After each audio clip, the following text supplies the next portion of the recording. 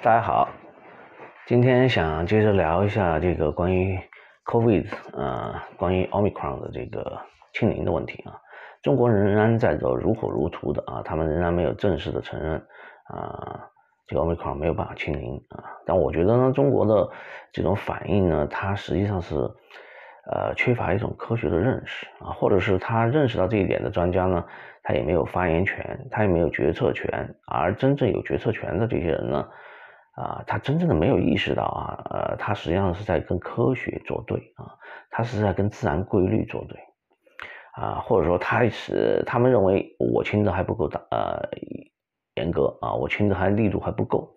我的我的这些所有的程序当中可能还有些问题，他还要加大力度啊，呃，甚至加大投入，但他没有意识到，他是不是真的意识到了，或者说他是不是真的？懂了，他是在跟一个自然规律做斗争啊，他绝对是输的啊，他不可能有任何的胜算。我今天就聊一下为什么这种清零是不可能实现的。首先呢，这种 COVID 的病毒呢是一种非常特殊的病毒啊，它当时我呢从整个这个事情啊，从开始甚至武汉只只是有谣言的时候，我就注意到这个了，我就一直非常关注，非常非常关注这件事儿，所以很多信息我都看了。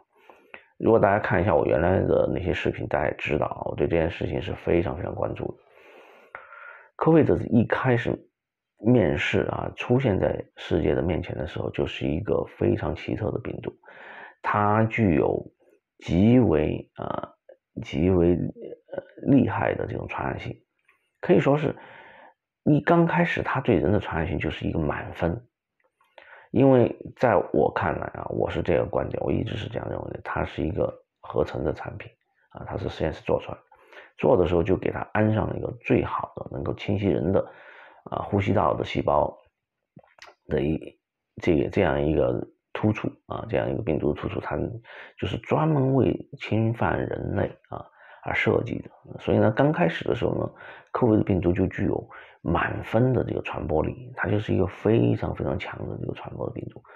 传染性极强的一个病毒。所以，我们看到这个 COVID 刚刚开始蔓延的时候，人类还没有任何办法对付它的时候啊，那时候既没有疫苗，那时候在治疗它的情况也不太会怎么治疗它，而且那个时候它毒性非常非常强，因为人类从来没有遇到过这种，因为它一下子把这个蝙蝠身上的这种病毒，原来不侵犯人的病毒，直接就注入到你人体身内部了。你这种病毒对人来说是完全是陌生的，所以呢，人是完全不适应这种病毒。所以刚开始的时候呢，啊，那个那个科威的病毒的死亡率是非常高的。你看当时是怎么样怎么样去呃战，或者说怎么样去应对这个病毒的？那很快啊，就是采用的一种非常那个时候你必须得戴口罩。我们要说就是传播性非常强、传染性很强的流感，其实人们都可以不戴口罩的。啊，其实流感的传染性啊，真的比不可比不上 COVID 的。呃，这 COVID 就刚开始它就通过飞沫传播，啊，也就是说你说话这种细碎的这种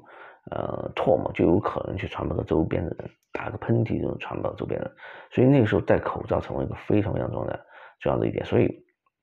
在没有任呃好的药物对应对的情况下啊，清零政策啊，比如说加大加大社会社交距离。然后戴口罩，然后，呃，那个时候就是说，呃，一段时间不要出家门啊，很多国家都做了同样的事情啊，就让这所有的商业停下来，啊，对于刚刚开始的那几代的 COVID 的病毒是真的非常有效，但是我们我们发现什么呢？你说到现在 Omicron 就 COVID 进化到 Omicron 的时候，你简简单单的戴一个口罩已经不行了，你看现在 Omicron，我们来看看现在 Omicron。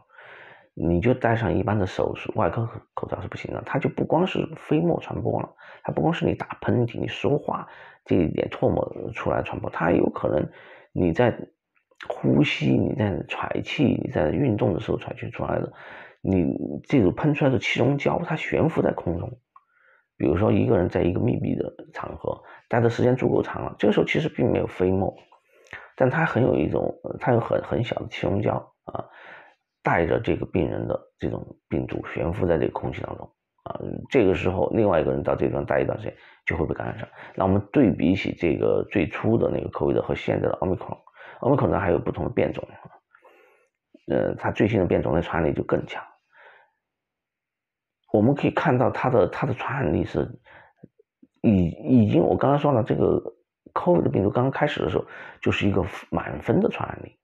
它又经过了这么一个演化过程，到现在它传染力在满分基础上可以说又翻番了，翻了好几番。所以呢，现在的这个奥密克戎是一个 传染性，呃，可以说是据说是人类历史上第二了啊，据说是第二传染性的一个一个病毒。就是非常厉害，那它怎么样变成这个样子呢？我们要说这个病毒刚刚开始在人类，因为它传染性很快啊，很很很厉害，它很快就传染到了非常多的人人口，而且这个人啊，每一个人体内又进行着天文数字般的这种复制，它本身是个 RNA 病毒，它只是单链，所以它非常容易变异，所以这个 COVID 的病毒被释放到人人类社会当中的之后，很快就就演化出。无以计数的这种变种，我们现在虽然了解到什么 Delta、什么阿尔法、什么 Beta 啊，是以及到现在的 Omicron，这种都是少数比较主要的这种啊，造成巨大影响的病毒。但实际上呢，它真正的很多不计其数的这种变种太多了，只不过它们可能没有造成影响，没有造成如此大的影响，所以它们既没有名一个单独的名称，甚至呃，它们也没有任何一个记录，呃，说不定啊，所以但是这种变种是非。非常容易产生，那结果是什么呢？在大量的啊，在大量的复制。首先，人口感染的人口很多；第二，每个人在身体内有复制特别特别多的次数，因此呢，在这个病毒的演化上，它的速度是非常快的，它的进化是非常快。它在这只病毒在奥密克戎啊，不是奥密克戎，就 COVID 的时候，不同变种的 COVID 的病毒之间存在着一个非常迅速和激烈的一个。啊，适者生存的一个竞争，实际上就是一场生物的演化，实际上就是进化啊，实际上就是进化规则的一个具体的体现。所有这些奥这些 COVID 的病毒，它们的不同的变种，它们都在进行相互的竞争。比如说，呃，两个不同的变种啊，这个变种具备呃可以让感染它的人传播给更多的人。那这个变种就很快的就会占据所有的人口人群，并且，而这个变种呢，啊，因为它人体一旦感染成这个变种，因为它基本结构是相似的，基本结构没有那么巨大的区别。一旦人体是就是说被感染了这种变种，它就会产生针对于这种变种的抗体。那这种另外的就传播力要稍微低一点的呃变种呢，它因为这个抗体存在，它就不可能传播过去了。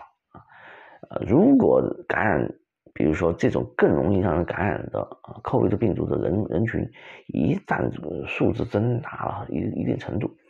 那其他的变种就寸步难行，其他变种就感染不出去了，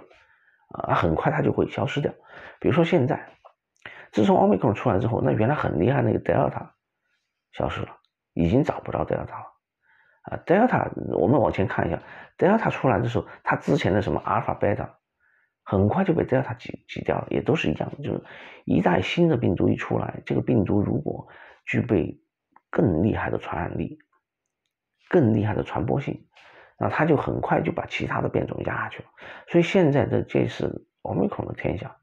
啊！虽然我们看到每天在全球都在有这么多人感染，很多国家还有大量的奥密克戎的感染者，但是这个时候你已经找不到其他的任何的 COVID 病毒了。只剩下一种，所以这个是在发生在啊口尾的病毒群这么巨大、天文数字般的这种不同变种的之间的一个残酷的相互的竞争，而目前我们看到就是一个胜出的一个胜利者，就是奥密克戎。啊，他在这个竞争当中呢，他使用的策略就是第一，呃，他为了让他自己传播的更远，他的毒性在下降，他的毒性在下降。因为如果它比太毒了啊，这它就必然损害这个人体带毒的这个人的人体的活动性啊，这个人就必须得倒在家里面养病，他传播的人就少了啊，所以它毒性，所以所有的变种当中毒性弱的变种被人挑选出来了，而且呢，它的这种基因就更容易，只要挂上你人的细胞啊，原来呢可能还相对要要进入到你的人体细胞里面还困难一点，现在它的基因进行了变异，选择了这种更容易侵入人体细胞。这种这种突出基因，所以呢，这两者结合起来啊，就就造就了像奥密克戎这样的这样的非常厉害的病毒。而这个其实是跟人类相关的，其实这个是人类自己啊，通过这样一个物竞天择、自然竞争，选择出一个能和自己共存的一个啊一个病毒。那有人说了啊，我我们现在就是我可以清零嘛啊？对，原来清零呢，你成本。比如说，你只要让大家在家里面关上个五天啊，呃，接触下也可以，它甚至也不够通过物品传染，甚至大家戴上只要戴上口罩或者隔隔一点五米或者一米，人就可以不相互传染。但到现在为止呢，已经不行了。现在为止，可能人要戴上 N95 口罩啊，然后呢，非常容易传染，是在这种待一个空间的，离开了，剩下的人到这同样空间也很容易传染，所以。只要人和人接触，只要人和人发生关联，啊，就非常容易让这个奥密克戎传播出去。也就是说，现在你要清零，你的这个代价可能是原来的十倍，啊，甚至五十倍、一百倍。那好了，一方面它这个病毒毒性已经减弱的非常之弱，一方面呢，你要让它清零，你要花的这个成本就越来越高，这个天平就和原来就不一样了啊。那你现在你可能付出原来的几十倍的代价。而你你清的这个清零的，你得到的好处没有什么好处，因为因为即使得了这个病毒，它也没有任何的问题，它也不很少人才会去重症，呃，更少的人会死亡，非常更更少人死亡，而所有这些比较起你付出这代价，可以说是已经相形见绌了。所以你是在用一个你损失了啊，你扔掉了一个西瓜，你捡到了一个芝麻，就是。呃，OK，就算是啊，就算现在他们会呃不计代价的把奥密克戎给它控制住了啊，那你的这个人口啊，你的人口很你控制住了，你没有多少人感染奥密克戎，他们对于一个奥密克戎，马上奥密克戎还会出新的变种，奥密克戎现在已经出了三个变种了，啊，你没有办法预料下一个传播性更强的奥密克戎。甚至或者下一个病毒，它什么时候出现？它一旦出现之后，你的所有的人口对它来说都是一片 Greenland，就是就是一个绿色的呃，或者就是一个未开发的处女地，它随时就马上就进入来，呃，对他来说简直是又马上可以爆炸性的在在你的人口当中传播开来，因为你通过清零，你给他保留了这么一块。呃，茂密的无未经感染的一个人群，对他来说这就是肥肉啊，就是一个冲锋陷阵的一个大战场。对他来说，呃，这是正好，而且你是你很多的人都没有感染过 Omicron，你你你一旦这个新的变种进入到你的人人群当中去之后，那就是野火燎原了，那就是就是呃干柴烈火碰在一起了，你根本就非常难以控制，更难控制。所以就算是他现在控制住了啊，咱们退一万步说。中国现在控制住了，那马上新来的这个变种就会把它打得一败涂地，因为它保护的这个人群对欧米克戎完全没有任何的免疫力。嗯，可以说是，如果他真的说是哈，我要通过清零的方式，我把你这个病毒排拒之门外，我根本就不沾你的病毒，我的人口不能沾你的病毒，他这样的话，他实际上就是在跟进化论作对啊。这个世界，我们的这个世界就是进化出来的。我们看到周围这种物竞天择，这是一个最基本的一个呃呃生物圈，地球上生物圈最基本的一个发展动力啊。地球上生物圈运行到现在，就是依靠的这样的动力，就不断的在竞争适者生存啊，这是最简单的原理。而这个奥密克戎的结果就是它会传染性会越来越强，它只会更强，它毒性也会越来越弱。所以你要清零啊，这个是不可能实现的。你要清零的结果就是把自己的国家搞破产了。对他来说没有任何关系啊。奥密克戎它每天都在进展，它每天都在变异，呃，它每天的这个传染性都在提高一步。但好的地方是在于啊，它把别的啊，它战胜的那些病毒全部消灭掉。所以。好，我们讲完这个，从这个选择上来，我们认证了这个奥密克戎只会传染性越来越强啊，它，呃，已知强到一个地步，你根本就支付不起，因为它的传染性只要上一个台阶，就意味着你要你要清零，它要付出的代价又上了一个台阶。好，它不断的上台阶，你的代价就在不断上台阶。你现在呃，上海已经让人出现饿死的状况了，你都没有办法清零。就上海这个力道已经非常非常大了，你都没办法清零，你还想怎么着？你你还想以后，呃，每个人都像关监狱似的，人和人之间都不能碰，你有那种可能吗？你这社会能够支付那种代价吗？所以已经现在已经力不从心了啊！为什么中国呃内政他们觉得自己啊总是杀手锏，总是能够啊出来清零的这套手段现在不管用了？这就是因为他们在对付一个根本就不是同一个水平上的病毒，他们现在要付的代价啊，你要付出来的钞票比原来就是要高十倍啊二十倍，你能付得起吗？你要付得起你就付啊，你付完了之后马上下一个来了之后两百倍、三百倍、五百倍。一千倍以后，你一千倍的代价你还付得起吗？你你你你这国家就是破产了，你都信不了你。这就是它的发展方向啊！病毒它不会停留的，病毒它的这是自然规律啊，这是自然规律。所以，咱他们如果早一点认识到这这个自然规律，他们也不会费这个劲的。他们先评估一下，你要花多少钱的清清理，你有没有这个钱？你花得起吗？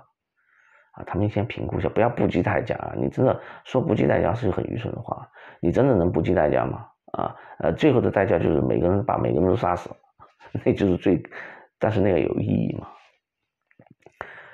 再从另外一个方面来谈，呃，就是说，如果我们观察一下所有这种奥密克戎侵侵犯过的国家啊，就是就是奥密克戎闹过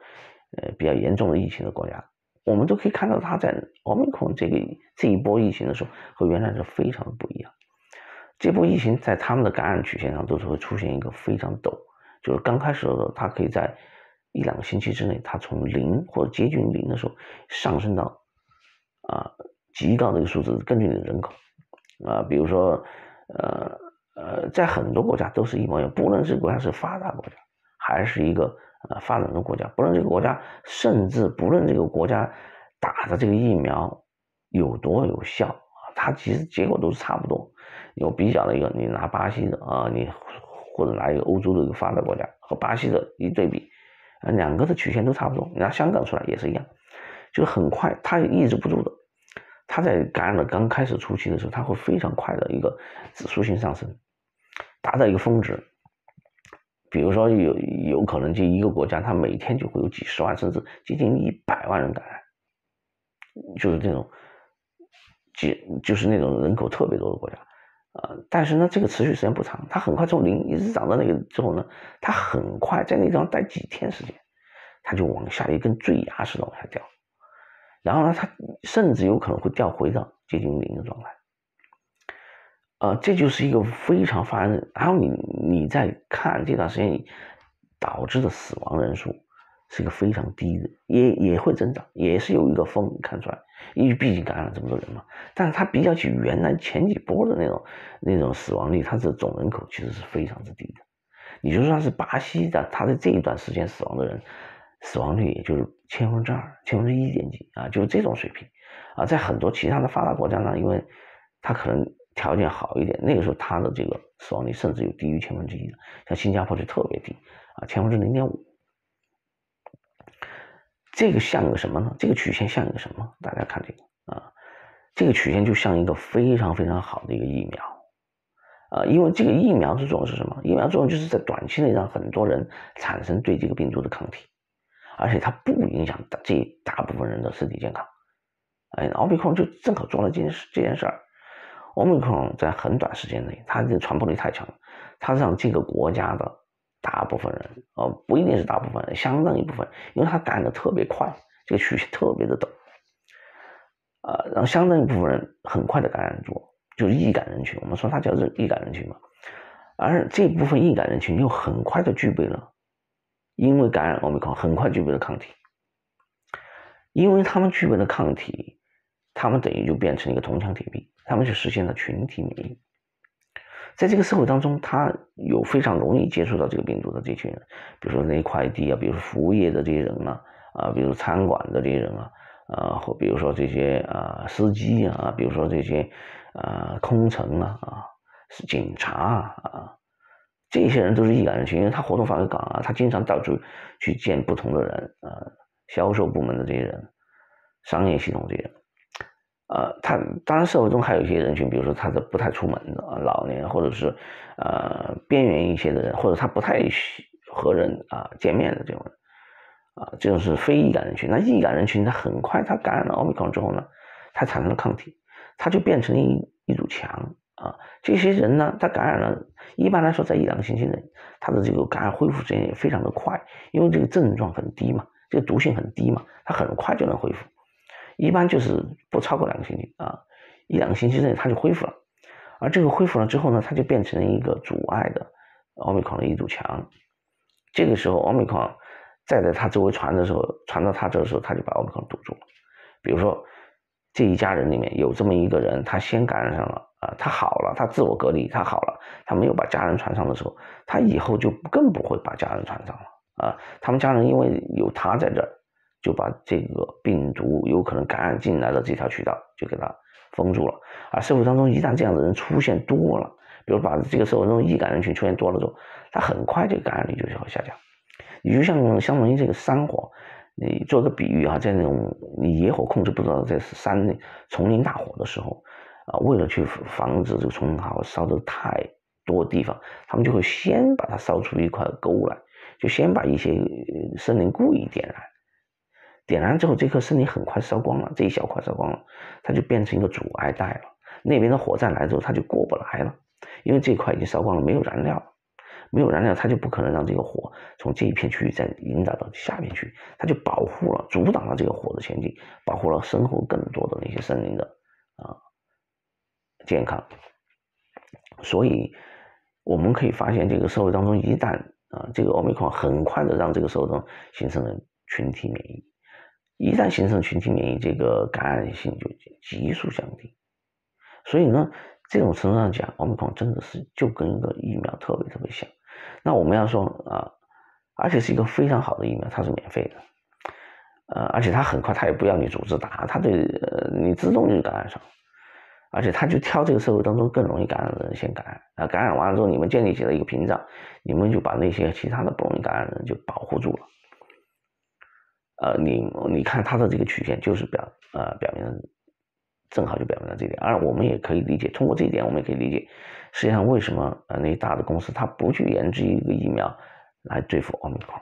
因为他研制，因为他研制的那个疫苗说不定还没有奥密克戎的效果好。因为奥密克戎后，西方的人呃这些国家啊，他们看到了这一点，他们看到了这个这个病毒快速的进展到这一步之后，他们就知道。这个病毒已经到了和人类共存的时候了，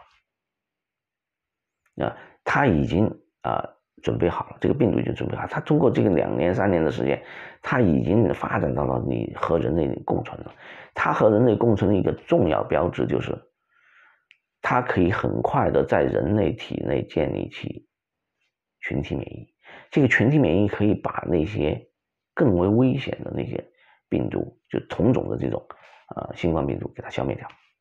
所以呢，它就像个清道夫似的，把其他的危险的新呃新冠病毒全部消灭了，剩下来这个相对相对很安全的啊奥密克戎就霸占了全球。这个时候，你如果呃涉及到一个疫苗去对付奥密克戎，你是让人不敢它，你相反是在做一个呃反过来的事儿啊。你对付它了，你还能对付一个更恐怖的啊，比它比奥密克戎更呃。杀伤力更强的那种原来的那些病毒吗，你显然你就不一定能够对付那些病毒，而这个奥密克戎已经帮你做了这件事情，他为什么要去把奥密克戎给它停止呢？啊，所以他们就是可以这个社会可以放开，啊，这因为他们已经发现奥密克戎到了这个必须和人类共存的地步，也我刚才说了这个。消灭不了的，消灭不了它，而且这是在朝一在朝一个正确的道路上走。奥密克戎还会啊派生出毒性更低的啊更更低更低的呃一些一些新的变种出来啊，这个时候你你让它自己去啊演化，那它很有可能就会把 COVID 的整个的疫情结束在奥密克戎上，然后奥密克戎就变成一个很普通的，就像你的分辨。我相信在下一个阶段，奥密克戎就和感冒让你分辨不出区别了。虽然它是两种不同的病毒，虽然它是两种不同病毒，但它对人的这种呃影响力，因为它感染人的这种呼吸道啊，还是会帮助它传染。所以它还会继续保持这个特征，因为它感染你上呼吸道，让你打喷嚏，让你流鼻涕，让你通过这些行为